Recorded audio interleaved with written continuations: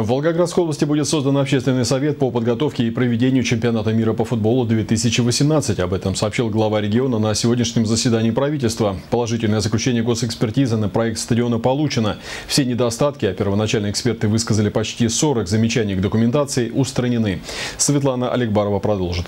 Акт подписан, печатью скреплен. Помощник губернатора докладывает Андрею Бучарову об окончательном согласовании проекта стадиона к чемпионату мира.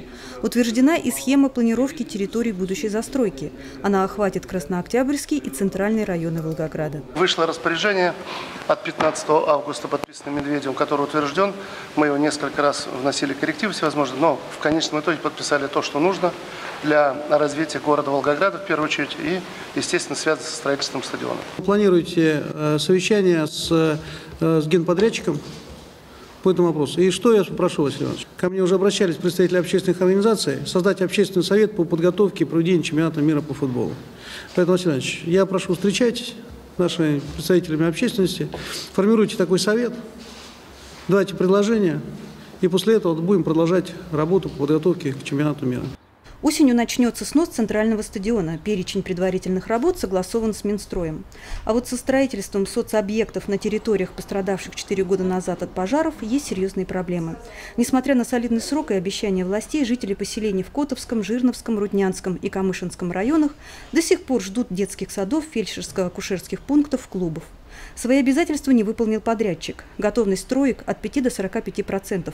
Работы там были заморожены, а потому сегодня многие здания требуют усиления фундамента, устранения допущенного брака и поправок в проект. Андрей Бочаров распорядился провести ревизию всех объектов и по каждому составить план дальнейших действий.